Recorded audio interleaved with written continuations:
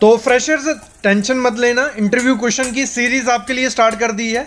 अभी डेली आपके लिए इंटरव्यू क्वेश्चंस आएँगे ही आएँगे। जो इंटरव्यू क्वेश्चन बड़ी से बड़ी कंपनी में, छोटी से छोटी कंपनी में पूछे जाएँगे, वो यहाँ आपको प्रैक्टिकली आपको सिखाए जाएँगे। जब आप इंटरव्यूर को आंसर दोगे, उसे लगेगा कि आप किसी साइट पे काम करके आए हो।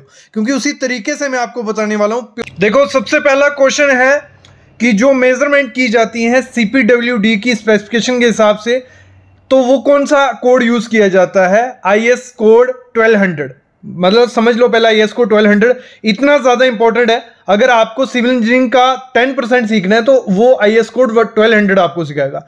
क्योंकि मेज़रमेंट करना, जब जो भी डिडक्शन रहती है बिल्डिंग में, कि आपको प्लास्टर की जब मेज़रमेंट कर रहे हो क्या क्या डिडक्ट करना है, कैसे? मतलब अगर आपको बिलिंग करनी है तो आपको 1200 I S code must must आना चाहिए। जिसमें जो भी फिनिशिंग की आइटम्स रहती हैं, उनके बारे में पूरी डिटेल होती है प्रोडक्ट की डिस्क्रिप्शन रहती है क्या क्या चीज़ें होती हैं। और अगर आप अलग से वीडियो चाहते हो आई एस को ट्वेल्व हंड्रेड पे तो कमेंट करना, मैं एक डिडक्शन की वीडियो ले आऊँगा कि कैसे प्लास्टर में डिडक्शन की जाती है। वहाँ देखो I S code twelve hundred कोई एक कोड नहीं है, बहुत छोटा कोड नहीं है। Twenty eight twenty eight part है इसके सेपरेट हर एक पार्ट में अलग चीज़ है और अट्ठाईस के अट्ठाईस पार्ट आपको पढ़ने चाहिए, तभी आप जो भी डिडक्शन या मेज़रमेंट किससे करनी है, वो समझ पाओगे। अगला क्वेश्चन है, जब ट्रक साइड पे आता है, कौन सा ट्रक साइड पे आता है? टीएम टीएम क्या हो गया? ट्रांजिट मिक्सचर जो ट्रांजिट मिक्सर रहता है, जिसमें कंक्रीट भर के बैचिंग प्लांट से कंक्रीट भर के हम साइड पे लाते हैं और उससे कंक्रीट किया जाता है। ठीक है? तो एक बेसिक क्वेश्चन भी पूछा जाता है इंटरव्यू में। अगर एक्सपीरियंस होंगे तो आपको पूछ लिया जो टीएम होता है, कितना कंक्रीट आता है जी उसमें? तो आपको बताना है, छह से सात एम क्यूब उसमें कंक्रीट आ जाता है। क्वेश्चन ये है कि जब साइट पे टीएम आता है, एक इंजीनियर साइट इंजीनियर की ड्यूटी वहाँ होती है क्वालिटी इंजीनियर की ड्यूटी होती है। तो दोनों की क्या ड्यूटी रहेगी? सबसे पहले टीएम साइट पे पहुँचा तो आपको क्या देखना है, उसका टाइम देखना है। कब वो टीएम वहाँ से चला था, यहाँ पहुँचा, क्योंकि उसका इनिशियल सेटिंग टाइम 30 मिनट में शुरू होने वाला है। तो जितने जल्दी कंक्रीट डाल दोगे, उतना अच्छा है, उसकी उतनी स्ट्रेंथ भी बने रहेगी और अच्छे से रहता है। तो सबसे पहली चीज़ रेवोल्यूशन काउंटर उसका देखना होता है, कहीं टीएम ज़्यादा तेज तो नहीं घूम रहा। क्योंकि ज़्यादा तेज घूमेगा तो कंक्रीट खराब होता है तो उसका रेवोल्यूशन काउंटर चेक करना है। फिर दूसरा, जो टिकट उसके साथ आई होती है, उसमें पूरी स्लिप होती है, आरएमसी प्लांट जो रहते हैं, वो टिकट साथ में बेचते हैं। वहाँ लिखा होता है कि इसका स्लम इतना था जब हमने यहाँ से कंक्रीट भेजा इतना टाइम था, बैच नंबर, सब चीज़ें नोट करके रखनी होती है, क्योंकि ये रिकॉर्ड चाहिए होता है और बाद में काम भी आता है। ठीक है, ये चीज़ देखनी है। उसका स्लम्प लेना है आपने, जब कंक्रीट साइड पे आया, पहला काम कंक्रीट में से टीएम में से कंक्रीट निकालो, उसका स्लम्प लो और चेक करो कि प्रॉपर स्लंप है वर्केबल कंक्रीट है कि नहीं। फिर उसका टेम्परेचर चेक करो। 32 डिग्री तक सेल्सियस 32 डिग्री सेल्सियस तक कंक्रीट का टेम्परेचर उस समय है तो अच्छा है। अगर ज़्यादा आ रहा है तो दिक्कत क्या है? वो कंक्रीट काफ़ी टाइम से उसमें पड़ा हुआ है। उसका हाइड्रेशन प्रोसेस स्टार्ट हो गया। उसकी स्ट्रेंथ डिक्रीज हो रही है। जितना टाइम होता जाएगा, उतनी स्ट्रेंथ उसकी डिक्रीज होती जाएगी। इनिशियल सेटिंग टाइम कितना होता है कंक्रीट का? सीमेंट का? वो होता है थर्टी मिनट और final setting time ten hour six hundred minute, ठीक है? फिर आपको क्या करना है? जो भी क्वालिटी इंजीनियर या लैब असिस्टेंट है, साइट पे होना चाहिए, उसने अपने जो सैंपल लेने होते हैं, किसके लिए? क्यूब टेस्ट के लिए। तो उसको अपने सैंपल लेने ने भले वो क्यूब भर रहा है या सिलेंडर भर रहा है तो उस हिसाब से उसको सैंपल लेने हैं। तो ये बेसिक काम रहता है जब साइट पे टीएम आता है। इंटरव्यू क्वेश्चन क्या है? जो क्यूरिंग करते हैं हम कॉन्क्रीट की तो कब से स्टार्ट कर देनी होती है हमें क्यूरिंग? मतलब जब आपने कॉन्क्रीट डाला स्लैब में या जिसमें भी डाल रहे हो पैंतीस से चालीस मिनट के बाद उसकी आप क्यूरिंग स्टार्ट कर देना, क्योंकि उसकी इनिशियल सेटिंग टाइम जब हो जाता है तो वो इतना खराब नहीं होता है कॉन्क्रीट 40 मिनट बाद अगर उसमें तराई करोगे क्यूरिंग करोगे तो उसमें क्रैक नहीं आते हैं, उसमें फटने के चांसेस कम हो जाते हैं किसके? कॉन्क्रीट के।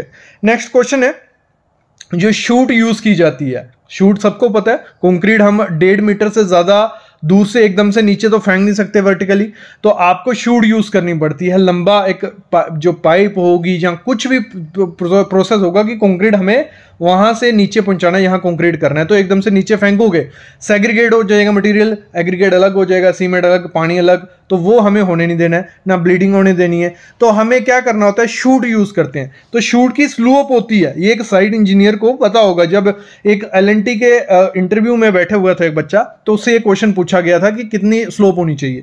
तो मिनिमम स्लोप उसकी होती है वन रेशियो टू कितनी? वन रेशियो टू मतलब वर्टिकल अगर हम वो जगह एक मीटर रख रहे हैं तो जो हॉरिजेंटल जगह होगी, वो दो मीटर मतलब दो मीटर स्लोप टेढ़ी होनी चाहिए। मतलब लगा लो वन रेशो टू समझ रहे हो? जिसको नहीं समझ आ रहा है कमेंट करना वन रेशो टू समझा दूँगा। समझ लो वन हमारा है कि वर्टिकली हमें खड़ी करनी है शूट मतलब डिस्टेंस हमारा वर्टिकली एक मीटर होना चाहिए और शूट जो टेढ़ी होनी चाहिए, उसका नीचे का जो डिस्टेंस होना चाहिए, वो दो मीटर होना चाहिए। ये हो गई मैक्सिमम स्लोप मिनिमम एक रेशो तीन की स्लोप आप रख सकते हो। अगला जो क्वेश्चन है, ये क्वालिटी इंजीनियर को पूछा जाता है साइट इंजीनियर को पूछा जाता है। जो भी बैचिंग प्लांट होते हैं स्टेशनरी सेंट्रल बैचिंग प्लांट उसमें जब मिक्सिंग टाइम कितना रखना चाहिए, कितना 50 से 90 सेकेंड कितना नोट करके रख लो अपनी डायरी पे 50 से 90 सेकेंड अगर उसकी मिक्सिंग कर रहे हो तो अच्छा है, उससे ज़्यादा नहीं करनी चाहिए, वो भी खराब है, उससे कम नहीं करनी चाहिए, वो भी खराब तो 50 टू 90 सेकेंड पकड़ के रखो, आपको इतनी करनी करनी होती है। और स्पीड कितनी होती है उस मिक्सर की जब उसमें कंक्रीट हो रहा है? देखो जल्दी जल्दी करोगे तो खराब हो जाएगा। तो आपको टू से छः मतलब एक मिनट में आपको दो से छः रेवोल्यूशन उसके होने चाहिए आरपीएम पे, ठीक है? दो से छः रेवोल्यूशन होंगे तो अच्छे से कंक्रीट मिक्स भी होगा और अच्छे से उसमें प्रॉपर से कोई, नहीं तो ज़्यादा तेज से होगा, एग्रीगेट अलग, पानी अलग, सब कुछ अलग। अगर कम होगा तो प्रॉपर से मिक्सिंग नहीं होगी। तो ये चीज़ भी आपको ध्यान रखनी रखनी है। और मिक्सिंग स्पीड कितनी होती है उस मिक्सर की, ये भी ध्यान रखना छः से अठारह आरपीएम। छः से अठारह आरपीएम ही रखना, उससे ज़्यादा रखोगे तो मैंने जैसे कहा एग्रीगेट अलग, वो सब चीज़ें अलग। तो छः से अठारह आरपीएम उसकी मिक्सिंग स्पीड होनी चाहिए उस मिक्सर तो अभी कोई आपको पूछे कॉन्क्रीट फटीक क्या होता है? तो कॉन्क्रीट फटीक होता है, अगर एक ही कंक्रीट पे मतलब बार बार रिपीटेड लोड आ रहा है, उठा रहे हैं, डाल रहे हैं, फिर उठा रहे हैं, फिर डाल रहे हैं तो वो कंक्रीट वीक हो जाता है। तो वो जो होता है, उसे कंक्रीट फटीक बोलते हैं। मतलब पहले उस पर अगर उस उस कंक्रीट की कैपेसिटी है सौ किलो न्यूटन की तो उस पर तीस किलो न्यूटन डाल रहे हैं, फिर साठ डाल रहे हैं, फिर पचास डाल रहे हैं, फिर सत्तर, अस्सी, नब्बे तो कंक्रीट फटीक हो जाता है। और क्रीप क्या हुई? इसी में से क्वेश्चन निकलता है इंटरव्यू में पूछते हैं क्रीप क्या हुई? देखो, एक लोड है, लगा लो सौ किलो न्यूटन जैसे स्लैब उठा सकती है तो उस पर अस्सी किलो न्यूटन का लोड या नब्बे किलो न्यूटन का लोड रख दिया। पड़ा रहा पड़ा रहा पड़ा रहा और थोड़ी टाइम बाद वो उसमें क्रीप मतलब उसमें बेंड आ जाएगा थोड़ा सा डिफ्लेक्शन आ जाएगी, उसी चीज़ को क्या बोलते हैं हम क्रीप डिफॉर्म जो डिफॉर्मेशन होती है सस्टेन लोड से, उसे हम क्रीप बोलते हैं। अगर कोई बात आपको कोई देखो एक्सपीरियंस सिविल इंजीनियर से ऐसे ट्रिकी क्वेश्चन पूछे जाते हैं। आपसे कोई पूछे कि जो सामने कंक्रीट है, चलो तो कैसे आपको पता चलेगा कि कंक्रीट ने अपनी इनिशियल सेटिंग टाइम उसका गेन कर लिया? मतलब इनिशियल सेट हो गया वो। कोई दिक्कत उसमें नहीं आएगी अगर हम उस पर चलेंगे। ठीक है ये क्वेश्चन पूछे जाते हैं क्योंकि जैसे हमने कहा 40 मिनट बाद क्यूरिंग मा, पानी मारना उसको स्टार्ट तो आपको कैसे पता चलेगा? आप पाँव रखोगे उसमें पाँव नहीं छपेगा। तो होता है इनिशियल सेट हमें कैसे पता चलेगा? पहले देखने से आइडिया लग जाएगा जो उस पर सरफेस पे जो पानी होता है। मतलब ब्राइटन पानी आपको पानी दिख जाएगा। अगर उसमें पानी नहीं दिख रहा है तो समझ लो उसका इनिशियल सेटिंग टाइम हो गया। बाकी आप 30 से 40 मिनट बाद आपको आ, बता देना है कि इसका इनिशियल सेट हो गया क्योंकि उसका 30 से 40 मिनट में होना ही था तो 40 मिनट बाद आप कुछ भी काम उस पर कर सकते हो। कुछ भी काम मतलब उस पर सिर्फ़ क्यूरिंग के लिए चल सकते हो ना उस पर कुछ चीज़ फेंक सकते हो ना लोड डाल सकते हो कुछ नहीं। वो इनिशियल सेटिंग टाइम बस पूछ रहा है ठीक है? नेक्स्ट है जो कंक्रीट होता है लगा लो एक घंटा टीएम में पड़ा रहा वो तो क्या होगा? अगर कंक्रीट कहीं टीएम आपका ट्रैफ़िक में फंस गया, जहाँ पहला टीम लगा, वो खाली नहीं हुआ था शटरिंग खुल गई, आपका टीएम खड़ा रहा तो उससे क्या होगा? तीन चार चीज़ें होती हैं। एक तो कंक्रीट ओवर मिक्सड हो चुका होता है। जब कंक्रीट ओवर मिक्सड हो गया तो वो खराब कंक्रीट अच्छा कंक्रीट नहीं रहा वो, क्योंकि कुछ लिमिट है। अगर टीएम को बंद कर दिया तो वो अंदर टीएम के अंदर ही सेट हो जाएगा। अगर चलाना तो उसके रेवोल्यूशन तो चलते रहेंगे तो वो ओवर क्या हो रहा है? मिक्स हो रहा है, वो खराब है। और अगर वो हॉट हो गया मतलब उसका हाइड्रेशन प्रोसेस स्टार्ट हो गया, अगर हॉट हो गया तो उसकी स्ट्रेंथ डिक्रीज होने लग पड़ती है। तभी बोलते हैं थर्टी मिनट से पहले पहले कंक्रीट आपको डाल देना होता है, नहीं तो उसकी स्ट्रेंथ कम होने लग पड़ती है टाइम टू टाइम अगला क्वेश्चन है, जो पोर्टलैंड सीमेंट था, ये एलएनटी में और गैमन इंडिया में क्वेश्चन पूछा गया था इंजीनियर से, क्योंकि पोर्टलैंड सीमेंट हम यूज़ करते आए हैं। आपको पता होना चाहिए as a engineer civil engineer site engineer किसने बनाया? Joseph Aspdin patented Portland cement 1824 में वो इन्वेंट हुआ था। और अगर कोई आपसे ये क्वेश्चन पूछा जाता है बहुत अच्छा क्वेश्चन है कौन सा इक्विपमेंट यूज़ किया जाता है किसके लिए?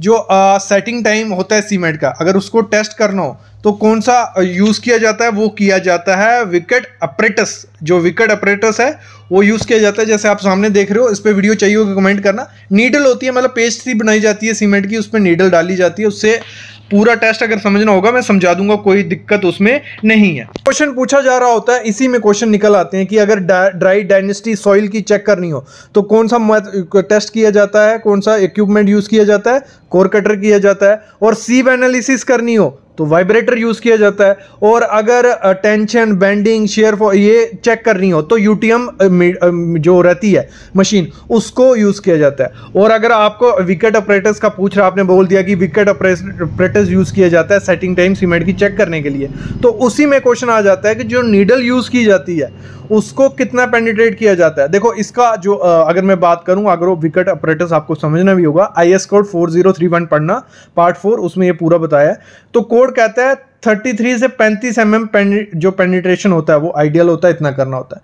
ये बहुत इंपॉर्टेंट क्वेश्चन है। आरसीसी स्ट्रक्चर जो रहता है, उसका टेंशन जोन कहाँ होता है? आपसे अगर कोई पूछे कि आरसीसी स्ट्रक्चर का टेंशन जोन कहाँ होता है, सबसे पहले समझो आरसीसी स्ट्रक्चर जो उसकी न्यूट्रल एक्सिस होती है, वो सेंटर में होती है, सबको पता है। और जो टेंशन जोन होता है, वो क्या होता है? नीचे होता है किसके? न्यूट्रल एक्सिस से। और ऊपर क्या होता है? कंप्रेशन जोन होता है। लेकिन जब कैंटिलीवर की बारी आती है, कैंटिलीवर, ये सिंपली सपोर्टेड अगर हमारी स्लैब है, बीम है, उसकी बात की मैंने। लेकिन जब कैंटिलीवर की बारी आती है, न्यूट्रल एक्सिस बीम में आ गई और टेंशन जोन चला गया ऊपर और कंप्रेशन जोन आ गया नीचे, ये चीज़ भी बहुत इंपॉर्टेंट है, हर एक को पता होनी चाहिए।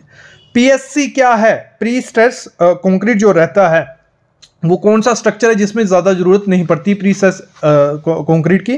तो वो होता है आर्च आर्च में इतनी ज़्यादा पीएससी की पीएससी की ज़रूरत नहीं पड़ती। जो मोस्टली क्योंकि देखो, उसको ना कंप्रेशन में जाना है, ना लोडिंग में जाना है, वो वैसी की वैसी पड़ी रहेगी। लेकिन जो हैवी लोड स्ट्रक्चर होते हैं, लगा लो ब्रिज हो गए, या कुछ स्ट्रक्चर हो गए, जिसमें लोड काफ़ी ज़्यादा आने वाला है तो कंप्रेशन भी होगा, सब कुछ होगा। तो वहाँ पे प्री स्ट्रेस कंक्रीट यूज़ किया जाता है कि वो रुका रहे। ठीक है, ये चीज़ भी ध्यान रखना। और अगर हम बात करें जो बीम टेंशन कैपेसिटी कहाँ ज़्यादा होती है? In which beam tension capacity of steel is greater than combined compression capacity of steel and concrete कौन सा होता है वो? ओवर रिनफोर्स बीम उसमें हायर टेंशन कैपेसिटी होती है। लेकिन एक दिक्कत होती है उसकी वो जब फेल होता है कोई वार्निंग नहीं देता ओवर जो uh, जो हमारा ओवर इन्फोर्स बीम होता है वो कभी वार्निंग देगा एकदम से फेल हो जाएगा। तो आपको कभी भी ओवर इन्फोर्समेंट बीम नहीं देना होता, ये चीज़ है। तो ये बेसिक क्वेश्चन थे। आज मैं बस करता हूँ, क्योंकि आप भी, देखो, आठ से दस मिनट की वीडियो लोग देखते हैं, आप भी देखते हो, उसके बाद बोर होने लग पड़ते हैं। मैं डेली पार्ट आपके लिए लाता रहूँगा बस आपको चैनल को सब्सक्राइब कर लेना है और दोस्तों के साथ शेयर करना है कि ऐसी प्रैक्टिकल नॉलेज आपको मिलती रही। और ये चीज़ें, ये जो इंटरव्यू क्वेश्चन मैं बता रहा हूँ, ये हमारी वेबसाइट पर पड़े हुए हैं फ्री में। देखो, रोज पढ़ो मतलब हज़ारों इंटरव्यू क्वेश्चन है, अगर प्रिपरेशन करने जा रहे हो तो सिविल साइट विज़िट की जो वेबसाइट है फ्री में यूज़ करो आई कोड सब कुछ है। जाओ डिस्क्रिप्शन में उसका लिंक है।